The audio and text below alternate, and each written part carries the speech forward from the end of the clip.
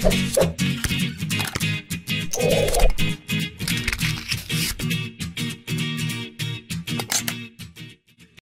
what's going on YouTube? My name is Mehul and welcome to your 8th React Native tutorial in which we're going to take a look at what style sheets are in React Native and basically just create a little application as well um, surrounding around that concept. So let's get started. Okay, so now you can see that on the left I have my device opened again and on the right we can see the code which is which was responsible in the last tutorial for just toggling off this color. So let's just get rid of all of this stuff and let's just see what these style sheets are. Okay so what's the deal with them is and I'm let me just actually just change it to tabs. Yep. Alright so what's happening here is that basically you create some sort of styles in React just like you do on the web.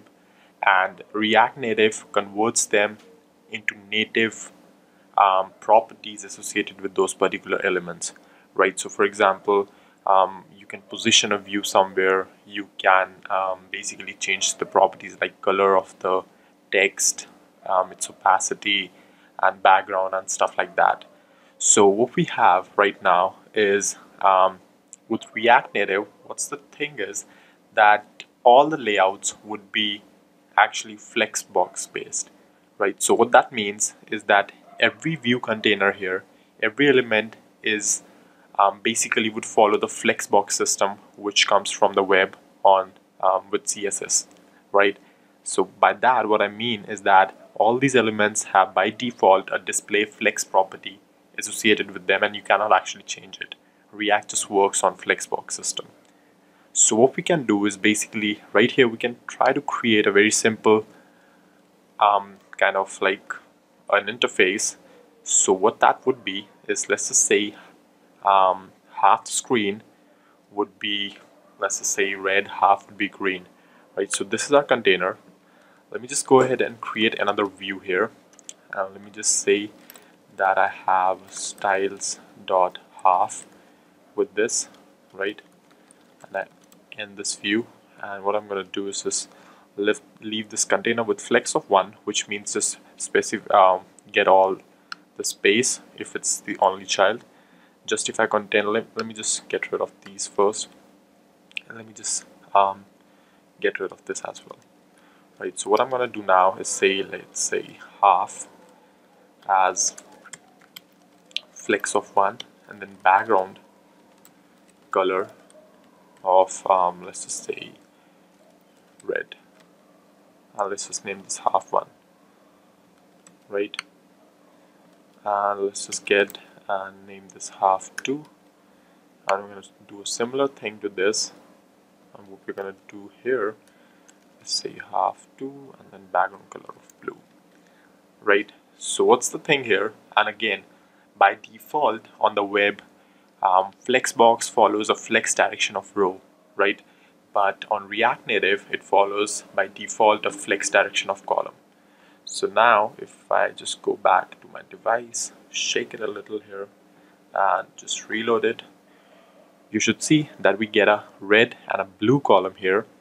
Uh, let me just reposition this right here. So you see that our half one is red and our half two is blue and as you can see that by default it follows a flex direction of column instead of row.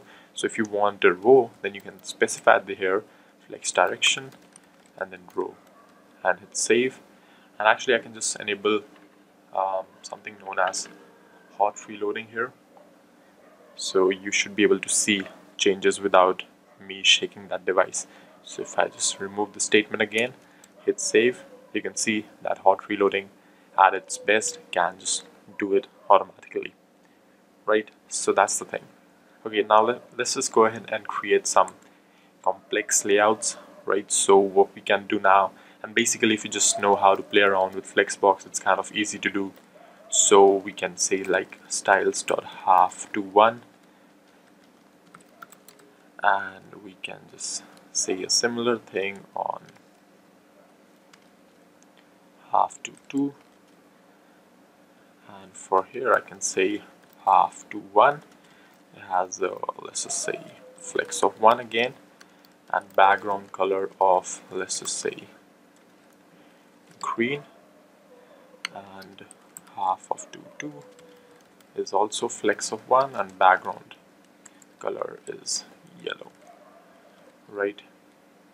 Let me just get a comma here. And now if you go ahead and see you can see that okay it kind of is not looking like it should. And the reason for that is because what we want basically is that uh, yeah it's actually working fine because as I said flexbox works in the um, flex direction of column. So what we can do is just change this half to right here to flex direction of row right?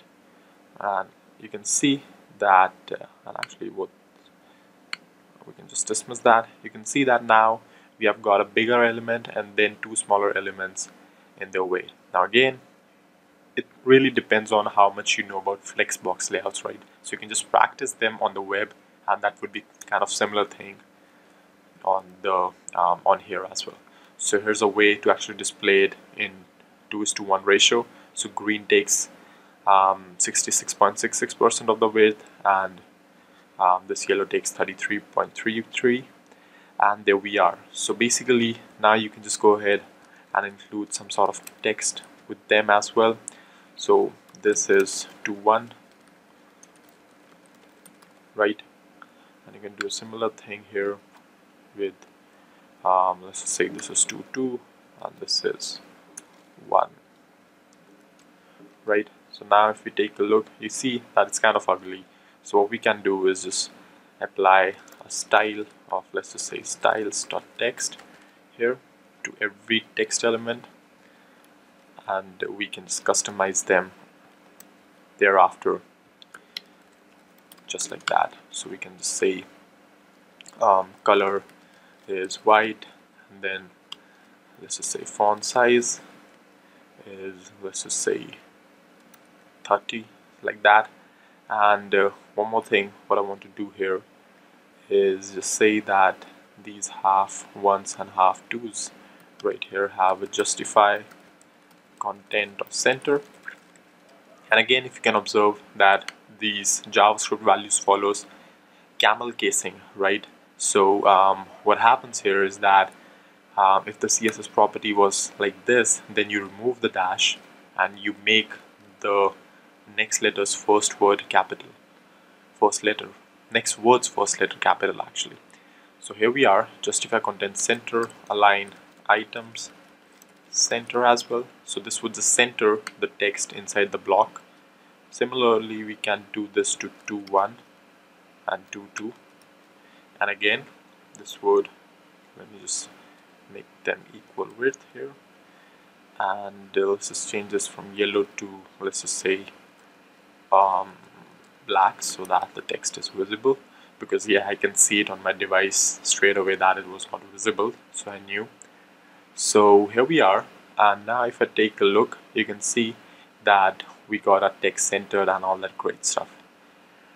Right so um, okay one more thing. Let's just say uh, we can see that half to one and half to two are sharing a lot of common stuff right? Apart from the background color they are actually same so what we can do is just we can make something like half 2x as a class. And actually I can just apply all that common stuff right here because it's a good practice as well as well as it will just make um, your code much cleaner and easier to read. Now we can just get rid of this. Apart from that background color. Right so now what I want to do is basically apply um, half 2x to both of these elements. So how would I do that? Well, to do that, what I'm going to do is instead of supplying this just an object, I'll supply this an array of objects and they would be applied in the order in which you supply them. So I'm going to supply it half 2x right here. So I'm going to say styles dot half 2x and similarly to um, r here styles.half2x and right now it does not really matter because the properties do not you know overlap each other so the precedence does not really matter here. Now you can see that our code looks much more cleaner and um, less than the previous one and we can just apply multiple style sheets to our elements as well. Mm, so yeah that's basically it and you can basically supply any object you want here you can just associate it, associate that object with your state as well. And uh, then you when you would update that variable your render function would be called and your um, CSS applied um, styles would be updated as well to that element. So yeah that's all for this video. And if you liked it then don't forget to subscribe. And thank you for watching. I'll see you then in the next one